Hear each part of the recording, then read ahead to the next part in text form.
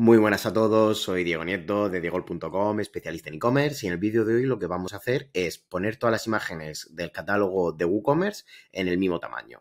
Esto principalmente, bueno, aquí tenemos un ejemplo, como bien estáis viendo, muchos catálogos, quizá el vuestro de vuestra tienda online, eh, le pasa esto, que cada imagen la subimos de un tamaño, ya que somos distribuidores, tenemos varias imágenes de, de proveedores y cada uno nos la da en un tamaño diferente. ¿Qué pasa muchas veces? Que automáticamente ojalá poder cambiarlo todo y no tener que ir mano a mano, una por una, para cambiarlo. Pero, ¿qué pasaría si os, dijese que esto se puede quedar de esta forma automáticamente con un plugin gratuito, en este caso hasta 150 imágenes? Si tenéis más, habría que pagar. Pero bueno, vamos a verlo en este vídeo porque ya no es solo que se muestre así en el catálogo, sino que, por ejemplo, yo aquí estoy en un producto, ¿vale? He subido la imagen cuadrada, ya que lo tengo configurado como, como cuadrado, pero, por ejemplo, yo me voy a este y claro, mirar, he subido la imagen en, rectángulo y tardo mucho más en bajar. Y ya no digamos ya la parte de móvil, ¿vale? Aquí, aquí lo tenemos, que se vería mucho más pequeño, ¿vale? O sea, mucho más largo y nos costaría más llegar hasta, esta, hasta esa parte,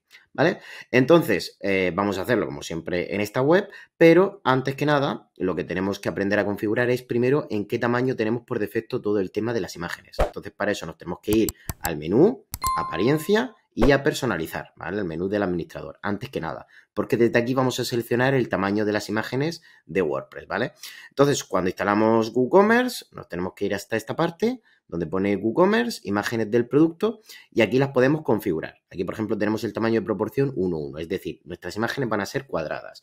En general, es lo que más recomienda Google, ¿vale? Eh, que sean sobre todo también de 1000 por 1000, sobre todo también las está usando también los marketplaces, y todas estas plataformas. Entonces, eh, anchura de la miniatura es 300, pero aquí podríamos poner eh, que la anchura sea de 1000, ¿vale? Eh, que ahora es lo que más se recomienda, pero Google me recomienda 600, pero ya de cara a Marketplace, hacer campañas en Google Shopping, una vez más lo repito, son 1000.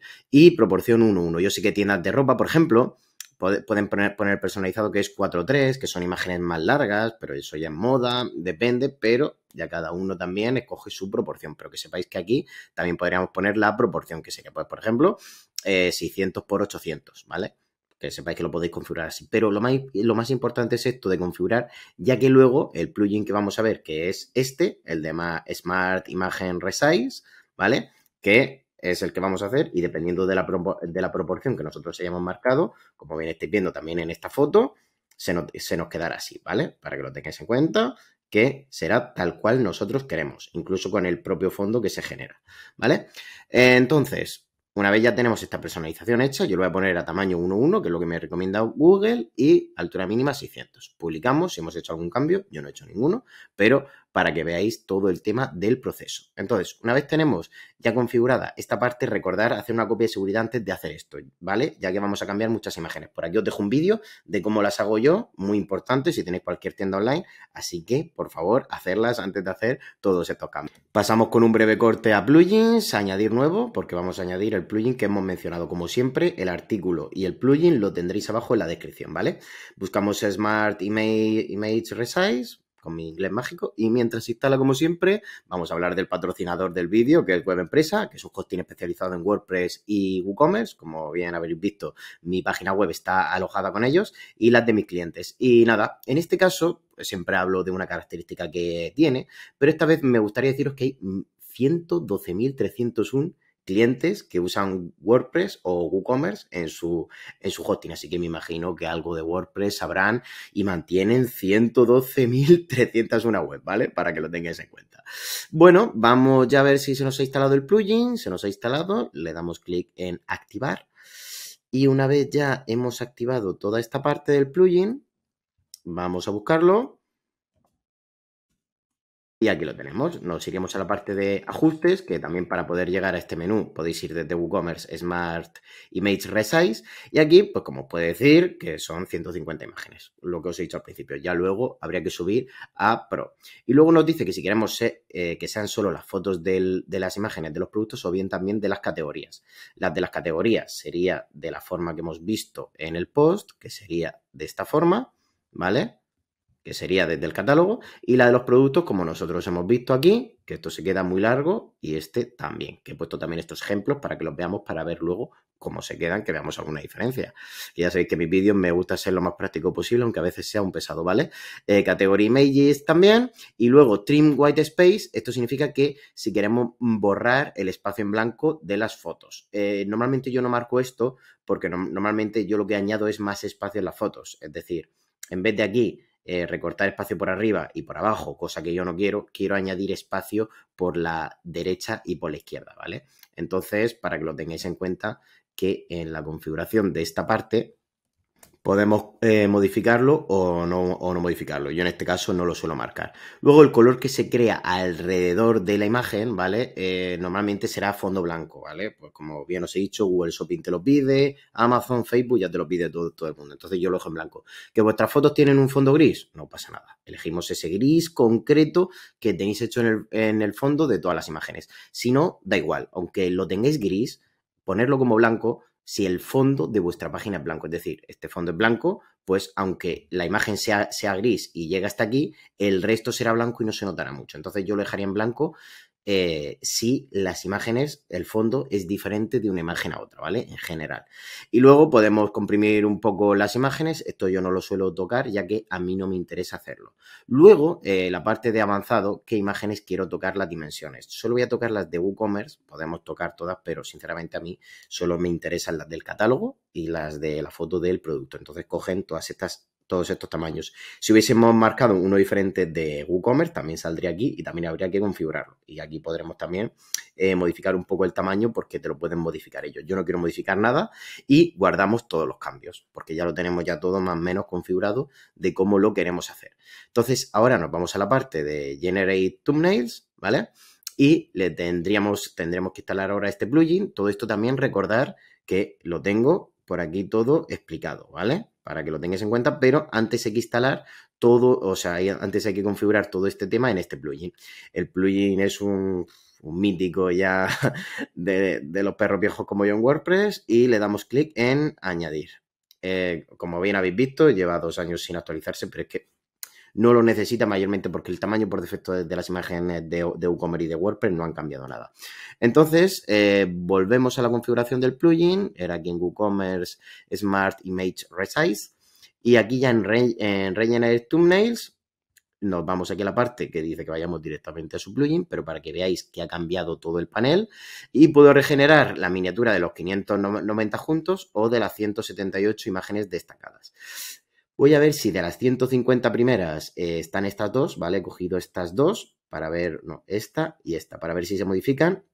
Pero yo ya os digo que se modifican perfectamente. Más en artículo podéis ver un ejemplo de cómo empieza esta, mm, esta imagen de una fresa aquí de, para el, todo el tema de, la manicura. Y luego al final, con todos los cambios, vemos que se queda mucho más pequeña, ¿veis? Ya se queda con el fondo cuadrado.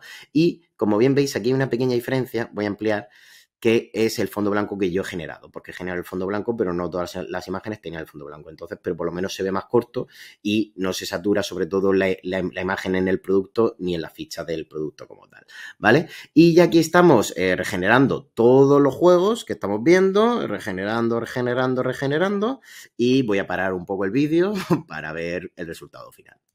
Que por cierto, esto se sigue cambiando, pero aún no le habéis dado like y esas cosas que piden los, youtubers para seguir creciendo, para apoyar y esas cosas de, la vida. O sea que ya sabéis, mientras tanto, darle like y todo esto. Venga, que te sigo viendo, que aún sé que no le has dado like ni un comentario así, muchas gracias, me ha funcionado, que solo comentéis también cuando, oye, ¿y esto que me ha pasado en mi plantilla que tengo de hace dos años, tal, por qué no funciona todo eso?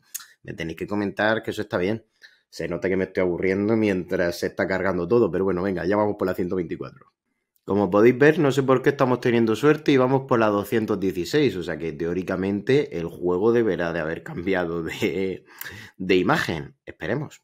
Bueno, y con esto ya por fin hemos terminado de configurarlo todo, aunque pongan 590 que se han regenerado, ahora veremos que solo se han regenerado 150 por los ajustes del plugin, ¿vale?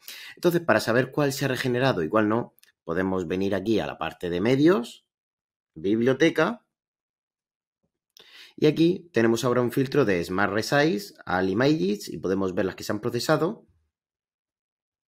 ¿vale? Que son todas estas, por ejemplo, ¿vale? 800 por 800, 500 por 500, ¿vale? Todas tienen un formato más menos cuadrado, ¿vale? Esta, por ejemplo, que la veo doblada, 700 por 700, ¿veis? Se han regenerado aquí los espacios, perfecto. Y ya, como podemos ver, luego están las no, las no procesadas, ¿vale?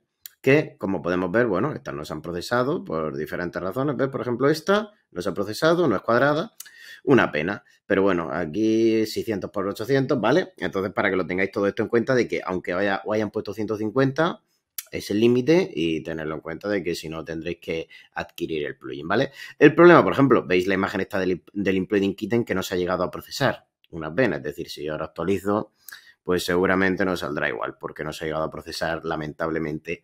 No he pillado tantas imágenes para poder hacer eso. Y después el despertar, vamos a ver si está por aquí, por la parte de los que nos han cargado, aunque lo podemos aquí actualizar, a ver si vemos el cambio. tendría que haber más espacios por los lados. Y nada, no lo hemos conseguido, ¿vale? Una pena, sigue teniendo ese formato. y como bien vemos, aquí lo tenemos, el despertar. 600 por 800, una pena, porque están las no procesadas. Vale, no os lo podemos demostrar, pero que sepáis que funciona. Otra cosa que os puede pasar es que no funcione y, y tenéis que darle a esta parte, aunque ponga border y tal, pero a veces que mm, es mejor eliminar este espacio para que de verdad se os quede. Pero teóricamente, sin poner estos, tiene que salir bien, ¿vale? Recordad que esos son solo 150 imágenes. Pero bueno, nada, es lo que hay. Antes eh, se podía poner de que las que no lo necesitasen no se pusiesen, ¿vale? Que antes aquí había un botón y en más lo veréis en el, en el tutorial, ¿vale? Que estaba aquí en esta parte, en la parte de, de regeneración, ¿veis? Pero lo han quitado lo han quitado y antes estaba. Entonces, antes más o menos, si solo tienes que arreglar 100 fotos, solo se arreglaban las 100 fotos que tenías que arreglar, no todas, ¿vale? Pero bueno, es una pena, ¿veis? Antes aquí ponía saltar regeneración, si existe el tamaño correcto, pero bueno, eh, la gente quiere hacer negocio, pero para mí es la mejor herramienta para poder hacer las cosas. Y como bien os digo, si os ha funcionado, decirme en comentarios que la gente vea que funciona y todo eso. Si ya habéis tenido cualquier fallo o problema, sabéis que tarde o temprano yo acabo respondiendo, ¿vale? Eh, se me ha ido la cámara, no sé por qué se me va en estos últimos vídeos, pero bueno, ya sabéis, recordar como siempre, pasaros por el canal, suscribiros, hay muchos más vídeos de tutoriales de YouTube y todo eso. Y si no, aquí tenéis otro vídeo que os habrá recomendado YouTube para que lo podáis verlo, interactuar con él y esas cosas. Nos vemos en un próximo vídeo. Chao.